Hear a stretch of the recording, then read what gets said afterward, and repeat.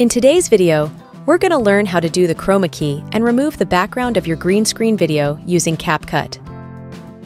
We will create a new project in CapCut, and that's going to open our photo gallery where we want to import the background video which we want to use.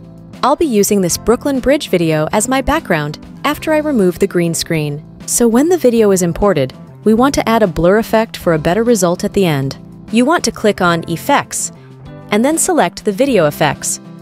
Simply search for a blur effect, and then select the effect which you like.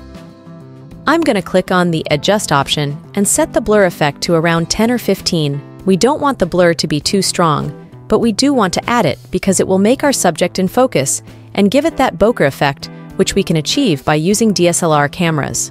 So once you select and add the blur effect, simply go back to the timeline and drag this blur effect over the whole video. Now we're ready to add the green screen video.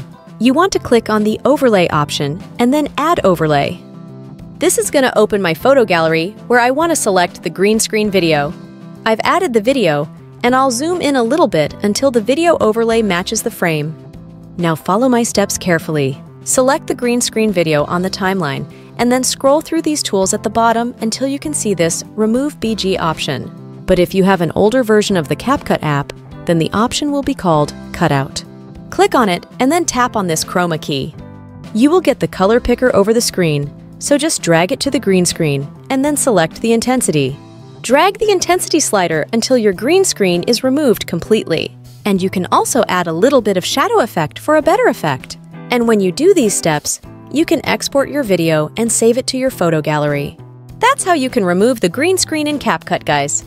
Thanks for watching, and I'll see you in the next video.